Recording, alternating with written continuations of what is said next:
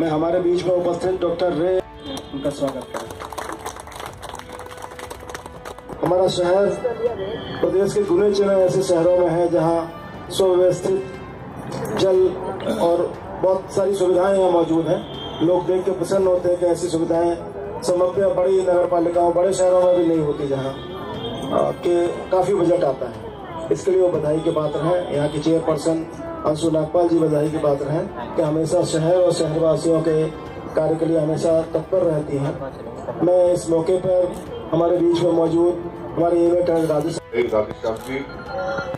बच्चा सिंह हमारे इस नगर पालिका परिषद गजोड़ा के यू साहब बच्चा सिंह दीक्षित जी बच्चा सिंह विजय शर्मा जी, डॉक्टर रे साहब विजय शर्मा जी, हमारे वीरेंद्र सिंह जी, हमारे सभा सभासद विनोद वर्मा जी, वीरेंद्र सिंह जी, विनोद गुजर जी और इस वार्ड के देश दरराज सभासद भाई डब्बू जी उपयोग माताएँ बहने में प्यारे पत्रकार बंधु सभी को मेरा यथायोग नमस्कार है। देखिए, आज ये हमारे गजरोला के लिए बहुत बड़ी सौगात है, जो हमारे नगर पालिका के द्वारा से अंशु नागपाल के द्वारा से और जुबलेट के आपसी तालमेल के सहयोग से आज इतना बड़ा कार्य यहाँ पर फ्री ऑफ़ कॉस्ट जुबलेट ने करके दिया है।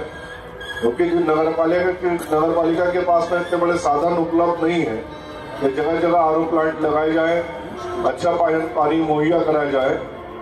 इसी विषय को लेकर लगभग सात आठ महीने पहले हमारी जुबलेंट प्रबंधन से बात हुई। और प्रबंधन का भरपूर सहयोग हमें मिला।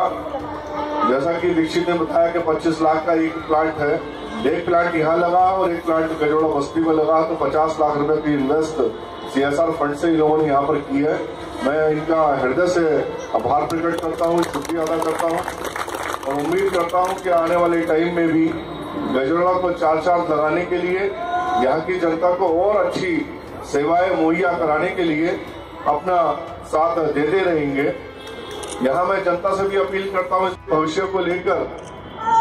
ज़रूर आप जागरूक हो और जागरूक होने की आवश्यकता भी बताई, जैसे कि यो साहब ने।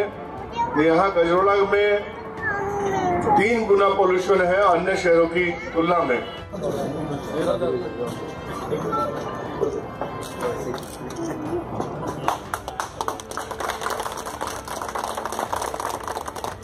श्री गणेश जी भगवान की जय दरबार की कुछ पूजनियों की जय जय तो तो तो तो तो तो तो है टू थाउज़ेंड का तो तो है तो बड़े मीटर में और